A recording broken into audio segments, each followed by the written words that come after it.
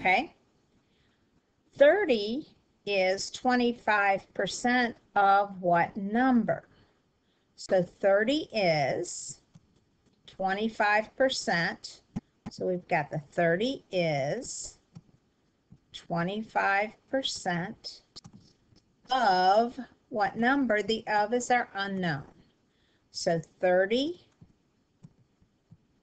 is the is, the of is our unknown. 25% out of 100.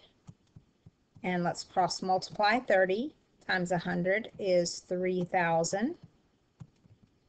25 times x is 25x.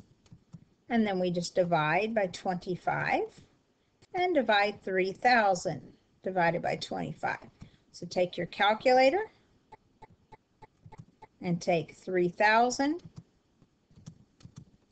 and divide it by 25. And you get 120. So x is equal to 120.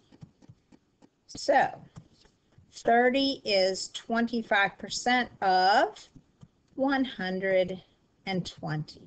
So 25% is one fourth of its value. So if you take 120 and you divide it in half, that gives you 60. That's 50%. If we divide 60 in half again, that gives us 30, which is 25%, which is what our problem is telling us. So I hope this formula has been helpful, and I hope the video has been helpful.